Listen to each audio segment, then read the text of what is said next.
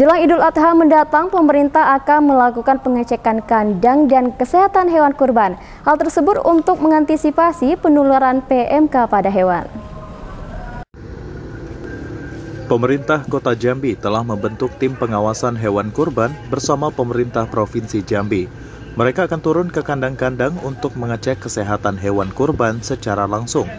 Jika hewan kurban dalam kondisi sehat, pemerintah akan memberikan sertifikat sehat dan masyarakat tidak perlu takut dan khawatir saat membeli hewan kurban.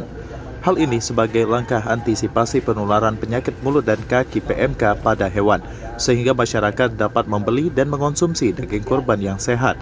Pemerintah juga akan menyiapkan vaksin PMK pada hewan ternak masyarakat yang terkena PMK, namun masih menunggu pemerintah pusat untuk mendropping vaksin PMK ke Pemkot Jambi.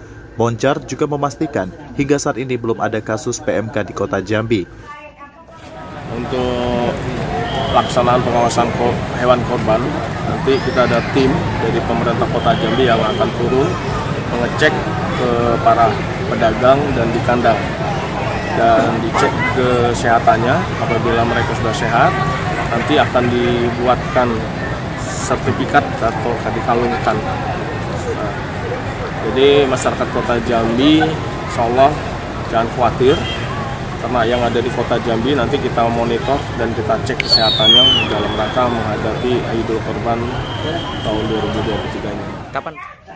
Meski demikian, antisipasi harus tetap dilakukan agar tidak terjadi penularan PMK. Heru Saputra, JEK TV, melaporkan.